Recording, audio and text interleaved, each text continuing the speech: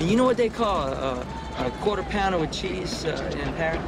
They don't call it a quarter pounder with cheese? Oh man, they got the metric system. They wouldn't know what the fuck a quarter pounder is. And what do they call it? They call it uh, Royale with cheese. Royale with cheese. That's right.